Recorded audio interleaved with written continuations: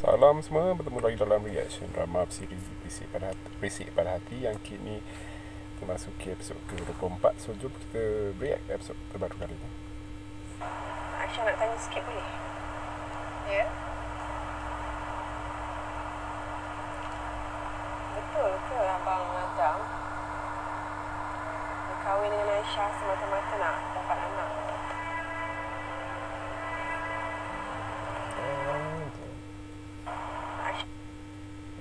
Sikit sudah tanda kata ni Macam mana?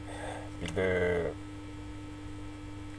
apa uh, Aisyah akhirnya yalah banyak banyak orang cerita orang dah dah keliling semua orang cerita pasal kenapa Adam kahwini Aisyah.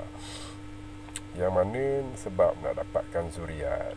Uh, lepas dapat zuriat habis macam tu je je bukan niat Haifa sebenarnya nak bermadu tapi nak tengok ah Adam bahagia. Dia dia macam tak jumpa cara lain. Macam ni lah paling obvious sekali cari anak angkat lah yang paling senang. Tapi dia nak madukan yang sebenarnya lebih mengeruhkan keadaan. Sebab kita boleh nampak Haifa ni tak ready sebenarnya nak ber apa bermadu. Dah lah ditambah dengan orang luar dengan keluarga maknya Hadiba dengan siapa lagi uh,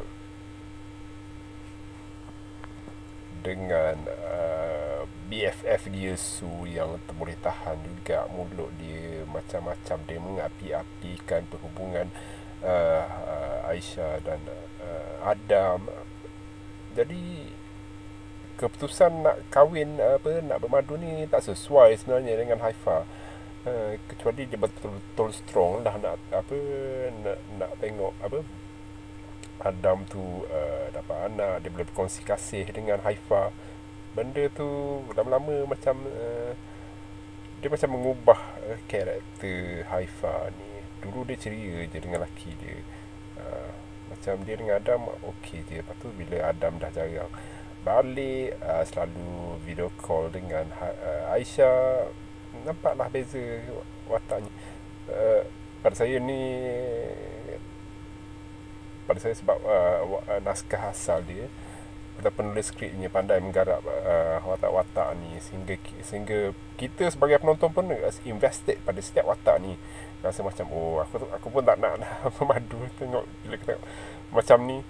Tapi itulah uh, kalau cerita ni based on real story pengalaman penulis ke yang tengok keliling dia ataupun kelaman sendiri ya, memang dia betul-betul pandai menangkap lah setiap uh, benda yang uh, macam kita tengok sendirilah dek, uh, dekat inter, uh, internet dekat social media kalau cerita artis tu pasang dua ke semua uh, cari lain ke netizen uh, netizen ni jadi, jadi macam uh, watak su lah dia, uh, dia jadi batu api lah ha.